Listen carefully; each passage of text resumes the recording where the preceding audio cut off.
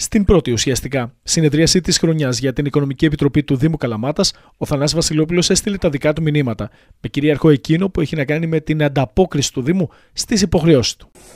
Πρώτη συνεδρίαση της Οικονομικής Επιτροπής σήμερα, ουσιαστικά, γιατί τυπικά όπως είπε και ο Αντιδήμαρχος, ο Πρόεδρος, είναι δεύτερη συνεδρίαση, καθώς προηγήθηκε μια συνεδρίαση διαπεριφορά για λόγους έτσι, σημαντικούς λειτουργίας του Δήμου, τακτοποιητικούς, κατά κύριο λόγο, υιοθέτηση της αποδοχής της χρηματοδότησης, τροποποίηση του προπολογισμού, αλλά και για να μπορέσει ο Δήμος Καλαμάτας να λειτουργήσει και λειτουργήσε και κατάφερε από τις πρώτες μέρες του νέου έτους να κάνει εξοφλήσει τιμολόγια.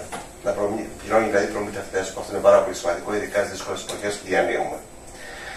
Ο Δήμος Καλαμάτας είναι ένας Δήμος που άντεξε και αντέχει. Με σκληρή δουλειά, με μεγάλη προσπάθεια, συνεχίζει να ανταποκρίνεται στις υποχρεώσεις του, να είναι ένας Δήμος σφαιρέκιος και αυτό αναγνωρίζεται από την τοπική μας κοινωνία.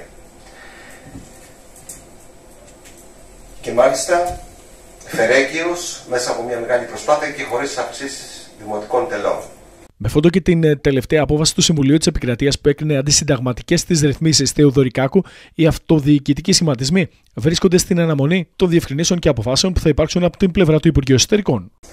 Από εκεί πέρα εύχομαι να έχουμε μια καλή λειτουργία της Οικονομικής Επιτροπής. Άλλωστε, η Οικονομική Επιτροπή και το Δημοτικό Συμβούλιο, όπως και οι επιτροπές, παίζουν πρωταγωνιστικό ρόλο στη λειτουργία του Δήμου. Είμαστε εν αναμονή των αποφάσεων όσον αφορά τις εγκυκλίους για το πώς θα λειτουργεί ε, η Οικονομική Επιτροπή και το Δημοτικό Συμβούλιο. Εμείς, όπως έχουμε πει, από την πρώτη στιγμή μόλις θα λάβουμε τις σχετικές εγκυκλίους, θα τις υιοθετήσουμε και θα τις προσαρμόσουμε και θα τις υποστηρίξουμε για την καλύτερη λειτουργία του Δήμου, διότι είπαμε ότι η Οικονομική Επιτροπή και το Δημοτικό Συμβούλιο παίζουν πρωταγωνιστικό ρόλο στην αναπτυξιακή προοπτική του Δήμου μας. Οι αναφορέ του Δημάρχου Καλαμάτας ήταν και στις επικείμενες προκλήσεις. Καλή χρονιά εύχομαι.